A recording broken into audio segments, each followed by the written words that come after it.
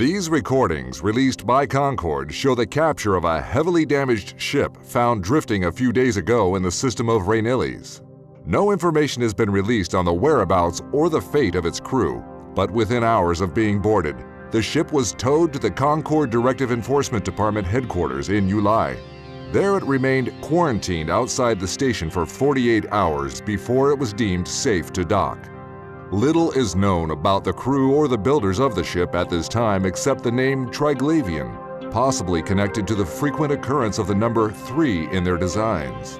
For the past month, damaged drifter fleets have been mysteriously emerging around various jump gates in New Eden. Appearing in previously unseen numbers, these drifter fleets have been nicknamed Death Balls by Capsuleers. Passive unless provoked, the drifter ships are heavily damaged after some unknown engagements. This has been the cause of speculation about who or what damaged those ships. The Arataka Research Consortium has been the leading element in the drifter investigations, mercilessly attacking them at every opportunity. While these unprovoked attacks on the drifters have raised controversy, they have also been justified as they have provided clues to what has been happening to the drifter fleets. Trinary data vaults have been salvaged from the drifter wrecks. The data they hold is partly corrupted and believed to be Triglavian. The Arataka Research Consortium has been quite successful in extracting fragmented footage from this data and stitching it together. The footage shows drifters engaging Triglavian ships. It is due to these efforts and consequent questions raised by Capsuleers that Concord has finally come forward to shed some light on these events. In the short amount of time since its capture, the Triglavian ship has provided Concord with a wealth of information. Equipped with what has been named a filament device, it allows cruiser-sized ships to enter what Professor Mayer of Concord Deep Space Research calls abyssal dead space. After observing energy spikes spread across New Eden, he has theorized that these are potential entry points to self-sustained pockets of space and time, abyssal dead space. In a daring experiment, an Enforcer-class cruiser was fitted with the filament device to test this theory. Upon activation, the ship instantaneously opened up and entered one of the countless millions of abyssal dead space pockets. This experiment confirmed Professor Mayer's theories, and as also predicted, the entry point closed behind the traveling ship, removing all hope of rescue in case of emergency. Initial observations of the pocket showed that it was surrounded by a harsh flux of space-time. Any ship venturing too far from its center would be crushed by the gravitational forces. Hazardous phenomenon were also detected within the pocket, requiring careful navigation to avoid damage or even destruction of the ship if flying into or too close to these hazards. Almost immediately, the expedition came under attack from three Triglavian ships.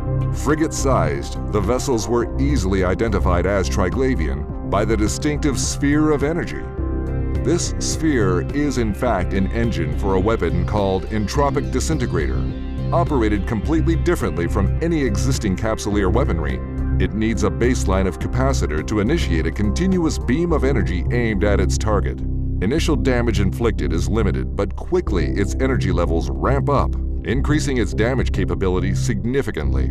Once it reaches full capacity, its damage output is higher than any other known weapons of similar size.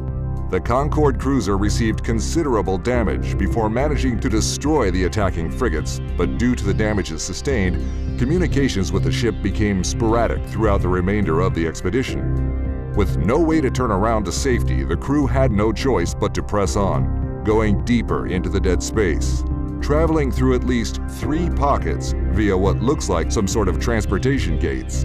Twelve minutes after entering the abyssal dead space, the last transmission was received from the expedition. Engaged once again by ships of Triglavian design, this time the cruiser was clearly outmatched by the larger vessels. While fragmented, it seems the Concord cruiser tried desperately to limit the damage received by the entropic disintegrators by repeatedly trying to move out of their range before their damage output reached maximum. But since the safe area within the pocket is limited, it kept getting cornered by the Triglavian ships. Each time the cruiser was forced to make another run past the Triglavians, it took incredible damage whenever any of the beams managed to reach its optimal output. Eventually, the cruiser hull was breached, and a fraction of a second later, its signal was lost. Data from the expedition is still being analyzed, but preliminary findings show that the cruiser traveled through three distinct pockets that all shared similar environments. It is believed that the gate seen in the third pocket would have provided a safe passage back to the point where the cruiser entered the abyssal dead space. What is interesting is that the footage collected from the Drifter wrecks in the past weeks showed at least five different forms of environments, which clearly indicates that more is yet to be discovered. Furthermore, the footage also shows drifters engaging Triglavian ships in the abyssal dead space. So it is only safe to assume that drifters will very likely be encountered in future expeditions. Another interesting observation made during the expedition were readings of high concentrations of biotech that has been named mutaplasmids. Also found in the captured Triglavian cruiser, Concord researchers have been experimenting with the substance and discovered it can have immense but unpredictable effects on existing technology. In the first experiment, mutaplasmids were allowed to bond with a standard micro-warp drive, resulting in vastly improved performance and reduced capacitor need while taking some penalty in the form of power consumption. When conducting the exact same experiment again, the results were completely different. Performance decreased while also seeing increased capacitor and power requirements. Subsequent testing has yielded everything from extremely positive to extremely negative results on the modules tested. Once the mutaplasmids have bonded to the modules, then these changes become irreversible, which makes use of the substance a risky gamble. But it is obvious that if this material can be harvested in large quantities, then it is set to revolutionize current space technology. This is Alton Haveri, reporting for The Scope.